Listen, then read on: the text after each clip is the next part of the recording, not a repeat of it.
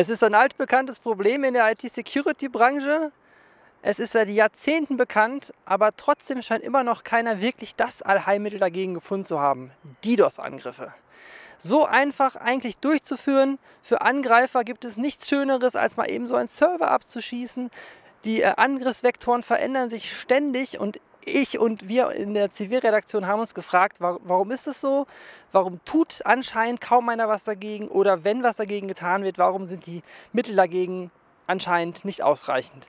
Dazu haben wir Hersteller von Security-Produkten im DDoS-Schutzumfeld, Anwenderunternehmen, aber auch die Provider und die Carrier, die ja selber diese Infrastrukturen für die Anwenderunternehmen zur, zur Verfügung stellen, äh, gefragt, was sie aktuell mit dem Thema DDoS-Schutz zu tun haben und was Sie für das laufende Jahr 2013 da noch erwarten, sowohl im Angriffsumfeld, aber auch im Sicherheitsumfeld. Was haben Sie mit dem Thema DDoS-Schutz zu tun? Ja, wir schützen einige Kunden im Bereich äh, Application direkt bei uns im Netz und ähm, schauen jetzt, dass wir unseren eigenen Backbone ähm, auch gegen DDoS Volumenangriffe schützen. Solange arbeiten wir mit dem Partner Arbor Networks zusammen und äh, einem entsprechenden Cloud-Signal, um diese ähm, volumenbasierten Angriffe abzufedern. Und was erwarten Sie für den Rest des Jahres 2013 in dem Umfeld? Es ist immer schwierig, pauschale Aussagen zu treffen, aber ähm, was äh, kommen seitens Ihrer Kunden für Anforderungen und was äh, wollen Sie da selber auch äh, ähm, aktiv beitragen, dass da halt die das Schutz weiter ein großes Thema bleibt? Ja, also einerseits versuchen wir natürlich weitere Kunden zu akquirieren, ähm, um auch eben entsprechend äh, ja, die Investitionen, die nötig sind, zu decken. Und letzten Endes gibt es sicherlich genügend Firmen, Kundenportale, die Angriffsmuster darbieten oder auch Angriffsziele darstellen.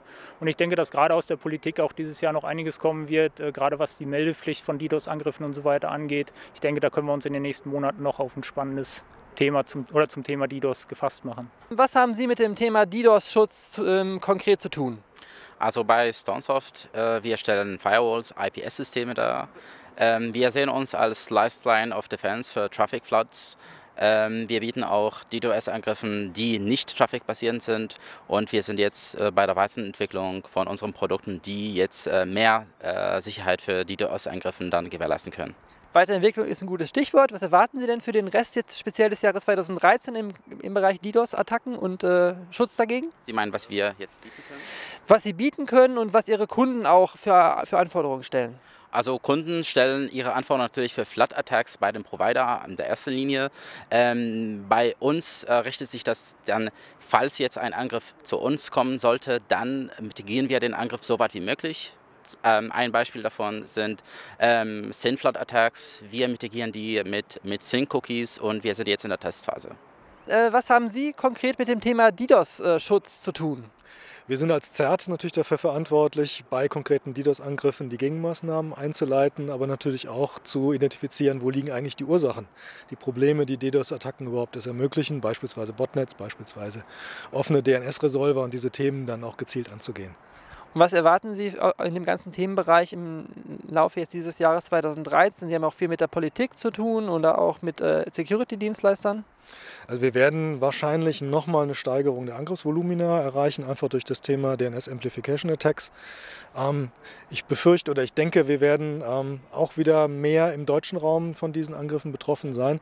Ansonsten, was weitergehen wird, sind die derzeitigen Angriffe eher kleineren Volumens, wo dann relativ gezielt ähm, Unternehmen erpresst werden oder eine besondere Form des Wettbewerbs dann durch DDoS-Angriffe durchgeführt wird. Das wird sicherlich weitergehen. Da sehen wir eine Professionalisierung, die in den letzten Jahren eigentlich kontinuierlich zugenommen hat. Was haben Sie konkret mit dem Thema DDoS-Schutz zu tun? Also seit 13 Jahren reine DDoS-Schutzhersteller, äh, also Anbieter von Geräten. Ähm, wir haben die großen Carrier als Kunden. Ähm, wir sind auch im Enterprise-Markt unterwegs. Wir bieten also Lösungen an, die speziell für DDoS-Angriffe konzipiert sind ähm, und damit auch ähm, Schutzmaßnahmen und Verfügbarkeit der Services anbieten, wenn man die Geräte einsetzt. So, und äh, was erwarten Sie jetzt speziell für das Rest, restliche Jahr 2013? Werden die Attacken weiter zunehmen? Was erwarten Ihre Kunden? Was erwarten die Provider, die mit Ihnen kooperieren in dem ganzen Bereich DDoS? Also wir haben jetzt im ersten Quartal schon wieder eine Zunahme von knapp 10 bis 15 Prozent gesehen, je nach Art, Angriffsart. Ähm, wir sehen, dass die Entwicklung weitergeht. Wir sehen, dass die ersten IPv6-Attacken schon äh, aufschlagen, mehr in den USA als hier in Europa. Ähm, das heißt, trendmäßig ähm, erwarten wir für das gesamte Jahr eine Zunahme von ca. 20 Prozent äh, ähm, sowohl Größe als auch Komplexität ähm, ähm, im Applikations- und Volumenbereich. Was haben Sie konkret mit dem Thema DDoS-Schutz zu tun? Konkret habe ich mit diesem Thema zu tun, weil meine Kunden mich beauftragt haben, eine DDoS-Schutzlösung anzubieten, zu implementieren. Und diese konnten wir nicht mit der Telekom vereinbaren, leider nicht. Ähm, wir haben es mit der Colt vereinbart. Die Telekom ist zwar motiviert, aber wir haben den richtigen Ansprechpartner nicht gehabt.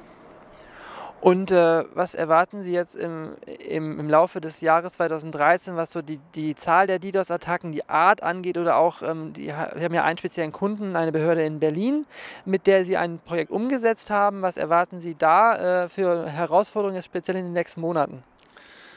Mm, das Angriffsverhalten wird sich noch ein bisschen weiter verändern. Es wird noch intelligenter werden. Das heißt, die Abwehrmechanismen müssen intelligenter werden. Es funktioniert nicht einfach eine rote Büchse hinzustellen und zu sagen, das ist meine Firewall, die handelt alles, sondern die Hacker denken mehr nach. Das heißt, auch mit dem Schutz muss mehr nachgedacht werden. Und das sowohl auf der Provider-Seite, sprich Telekom und ähm, Kollegen, als auch Anwenderseite, als auch von der Beraterseite aus. Da fehlt einfach Intelligenz momentan noch.